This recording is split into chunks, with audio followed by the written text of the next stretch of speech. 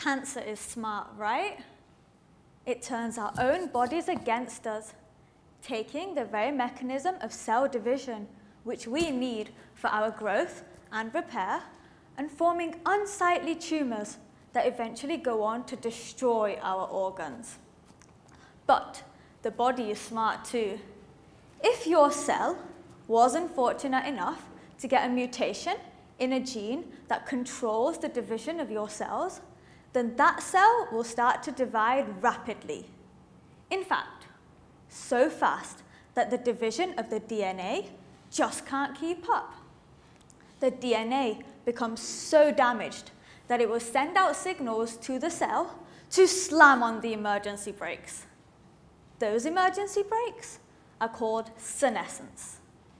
Senescent cells are big active cells, but they cannot divide. What they can do is make the cells around them senescent too. Tumor formation has stopped. It's like senescence is our body's natural weapon against the development of cancer. But clearly, with cancer as prevalent as it is, those emergency brakes can be too easily released. Can we create a therapy that can put the emergency brakes back on cancer?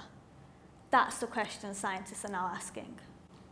But in order to do this, we need to understand, right down to the molecular level, how senescence is being controlled. So to do this, I screened over a thousand proteins, removing them individually from the senescent cells and adding a dye to tell me if they started growing again. Now, if all I had was a basic microscope, that would be my entire PhD right there. Thankfully, we have an automated microscope that not can only take the pictures, it can count the cells too, and that in just a couple of days.